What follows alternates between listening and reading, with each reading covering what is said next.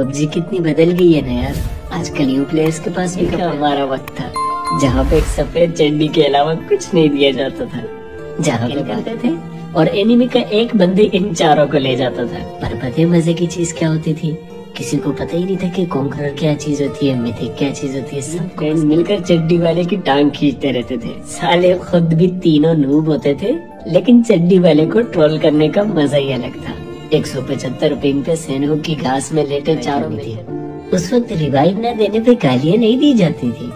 उस वक्त जो नॉक हो जाता था वो चीख चीख के कहता था भाई तू पीछे को भाग ले आगे बंदे मार देंगे तो मरने के बाद कभी भी लोबी में आके इस बात पे लड़ाई नहीं होती थी कि तुम्हारी गलती है या उसकी गलती है या मेरी गलती है। भी मिलकर अगर एक बंदे को मार रहे होते सबका दिल डर के मारे सेम धड़क रहा होता था। जानते हो क्यों?